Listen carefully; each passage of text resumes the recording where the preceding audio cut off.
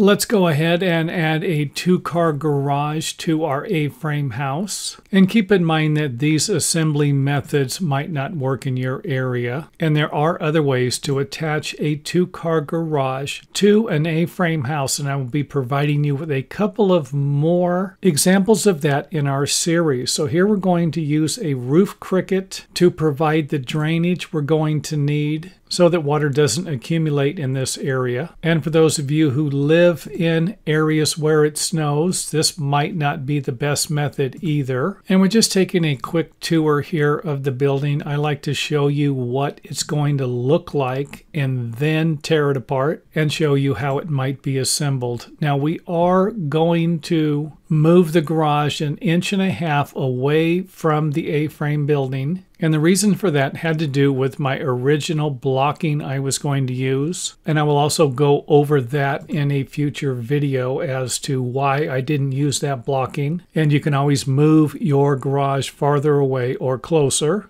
And I had to add another section of the rafter over here so that we could have some backing for the sheathing and fascia board. And you can see here where the rafters on this side are cut different than the ones in between the garage and the building. And another thing this garage is not going to have will be a door going into the house or a door going into the backyard. And the reason for that was because the garage ceiling was a little low, almost too low for comfort to allow a door to be installed in between the garage and the house. So I'm going to go ahead and raise the walls in a future video and put a door in. Next up, let's go ahead and remove the blocks to provide you with a better view of the rafters. And since I left a gap here, we might need to install some type of screening or some type of a board to block, prevent rodents from coming into the this section of the building. And the block is going to reduce or prevent any ventilation here. This is where a screen might work better.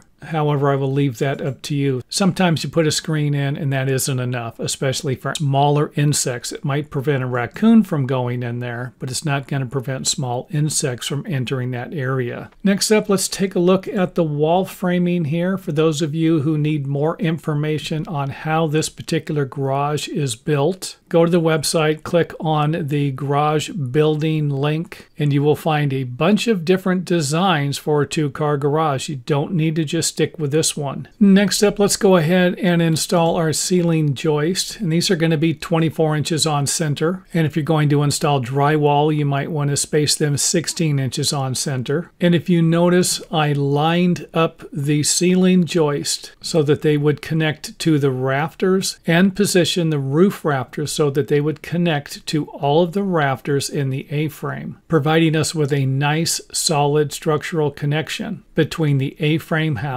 and the garage and I will be providing you with a different example of connecting that together in a future video. And in case I didn't mention it, the roof rafters will be spaced 24 inches on center in the A-frame and in the garage. And our backing board here will provide us with some nailing for a 2x4 we're going to attach on top of the roof sheathing to fill this area in here so that we could install our siding or stucco, whatever our wall covering is going to be. And you can always bolt these together like we did with the rafter ties here. Or I would imagine you could use at least six to eight 16D nails to fasten these two boards together, along with your ceiling joist or rafter ties to the rafters. And you might need to put a little more thought into how you're going to lay all of these rafters out so that they connect together and work well with the roof sheathing. Now I chose to install this rafter on top of the sheathing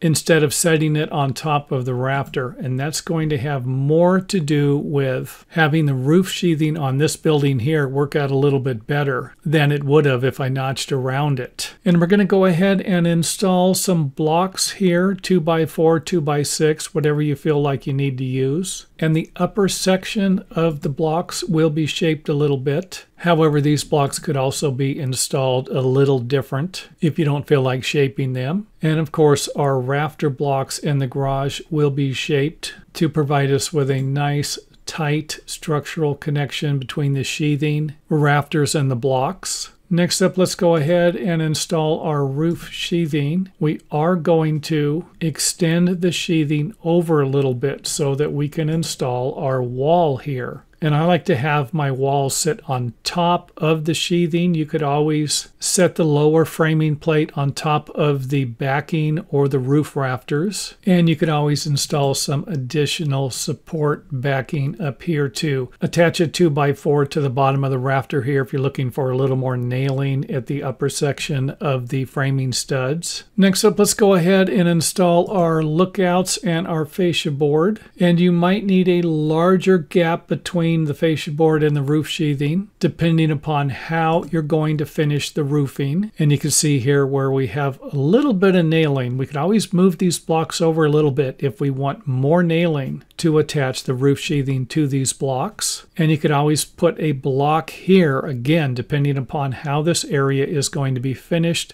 with your roofing materials. Next up, let's go ahead and pan out, get a view of the roof and the fascia board here. And of course, we're going to have the same situation on this side that we had on the other side. A view from the back and you can see here where it wouldn't be difficult to put a door in either over here or over here if you wanted a door going into the backyard. Next up, let's go ahead and install the roof sheathing and then we can go ahead and lay out our roof drainage cricket and install the shaped support rafters here and we're going to space these two foot on center so that we can get some nice solid nailing into the existing rafters that are also spaced 24 inches on center. And I do have more videos on how to build a roof cricket if you're looking for that, need a little more information on that. And next up, let's go ahead and take a look at a different type of roof. That will shed a little bit of the snow easier than in the previous example. And there were a few comments in the previous example that suggested what a horrible design it was. And I'm not going to argue with that. I'm just trying to provide different ideas in the video for people who might be building something like this. So let's go ahead and get started and take a look at our back wall. We are going to have a 2x4 wall in the back, a 2x6 wall in the front. And we're also going to extend the wall to sit on top of the roof sheathing. On the 24 and 12 pitch roof on the main house. We're going to have a 12 and 12 pitch on the garage. And again, a 2 by 6 wall here. That's so that we can put a larger beam in for the garage door header. And if you notice, we're going to have double trimmers here. You might even do better off with a post, maybe a 4 by 6 And don't bother asking what size lumber I'm using in the video because I can't provide you with the lumber sizes you're going to need in your area. If you've watched enough of my videos, you know that. And you can always make the back wall a 2x6 if that's something you need to do. And in this video, I'm not going to have a door coming from the main unit here, the A-frame, into the garage. And part of the reason for that is the drop that I have here. You can see the difference in the floor and it looks like it's a little bit over a foot. That's going to create a problem for our door opening. However, I'm not about to suggest that you can't modify it to create a door opening from this side of the building into the garage.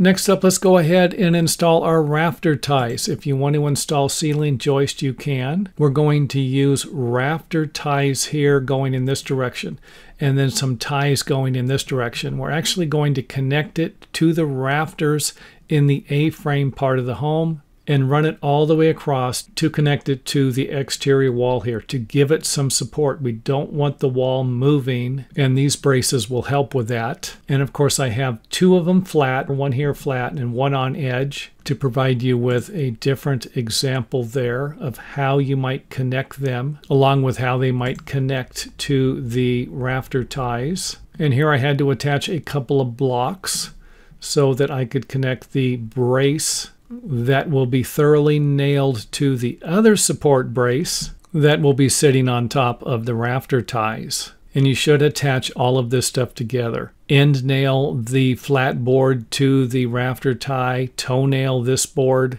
to the rafter tie, and again, you can just end nail, drive some nails down through the 2x4 into the rafter tie, and then drive some nails through this 2x4 into this 2x4 and then some nails to connect the rafter here to the brace. And hopefully you don't need more information on that. I don't put a lot of nailing information in the videos. They're kind of more meant to provide you with design ideas. And I'm kind of going on the fact that you already know how to connect this stuff together. If you don't, I do have plenty of videos showing you how to connect everything together, and you can find those on our website. Let's go ahead and add our rafters. Again, a 12 and 12 roof pitch, and each one of the rafter ties will connect at 4 foot on center to a rafter so that we can get a nice connection all the way through here. Rafter ties are 4 foot on center. Our rafters are 16 inches on center. So every third rafter will connect to a rafter tie. And the rafter ties are used to prevent the walls from spreading and the ridge from sagging. And again, I do have more information on that at our websites. Let's go ahead and put our fill in, zoom into the bottom here to give you an idea how the rafters are going to be sitting on top of this wall here. And I went ahead and put my stud underneath the rafter since I'm going to have a single plate here. If you want to add another plate, then this wall stud doesn't need to be directly underneath the rafter. Next up, let's go ahead and take a look at the ridge. And I went ahead and had the ridge sit on top of our support boards here. You can always have the ridge sit on top of the sheathing, but I went ahead and did it so that I could show you how these support boards basically go up and kind of form a peak here, where if I was to run this through, and have it sit on top of the sheathing, I just wouldn't have this. And I would imagine some engineers would rather have the ridge sit directly on top of these support boards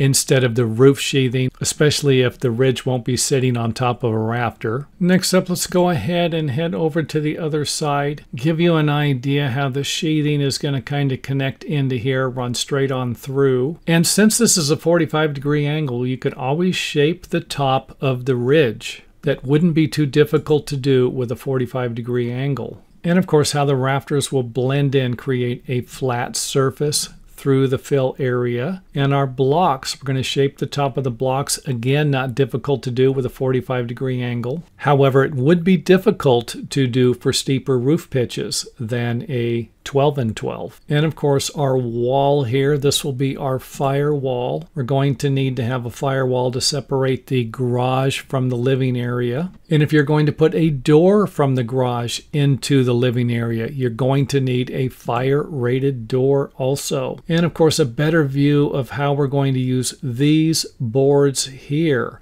to connect to the 2x4 wall framing studs to provide us with some more strength to prevent the wall from moving in and out. And you can always space these braces closer together. I have them at four foot on center. You could use 32 inches on center to make it a little stronger. Next up, let's go ahead and add our fascia board and take a look at the bottom here. And I want to kind of give you an idea if you're going to install a soffit at the bottom and the soffit's going to come all the way across here, you're going to end up with kind of a different section here. And there are a variety of different ways to finish that. I can go ahead and provide you with some of them. Just let me know if you need more information on that in the comment area. And of course, our lookouts are going to be spaced 32 inches on center, and our collar ties are going to be spaced 48 inches on center. And try to line the collar ties up if you can with the rafter ties. And we're going to move the collar tie to the other side so that we can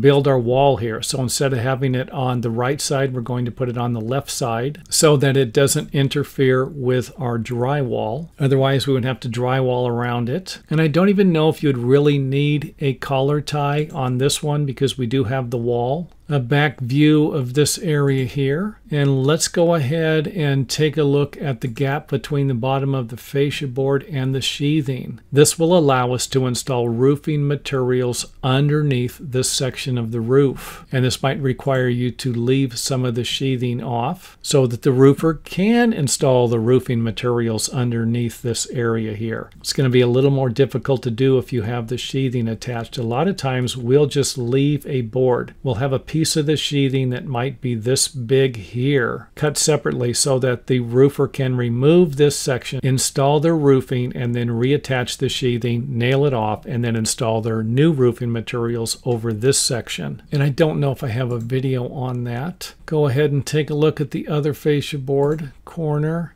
the blocks and how they're going to attach to the rafter tie. You could always run the block past and have the rafter tie sit behind the block if you're looking for a different type of assembly method. And of course our shaped fascia board. And we're going to have to do some notching here to make this side here blend in with this side here. To have to look something like this. Next up, let's add the roof sheathing and start wrapping the video up here. Roof sheathing, not too exciting. We've seen it before. And for those of you wondering why I didn't have a full sheet here, I was about three or four inches short at the top. Or in other words, if I used a four foot wide piece of plywood or OSB here, I would have needed to attach a three inch piece to the top of that. So for example, instead of having four 48 inches here. I had about 52 inches. And if your engineer does not allow for something like that, for example, if they have a two foot minimum, width, then you're going to need to do something like this here and waste a little bit of roof sheathing. And thanks for watching. If you enjoyed the video, let us know by hitting the thumbs up button or letting us know in the comment area.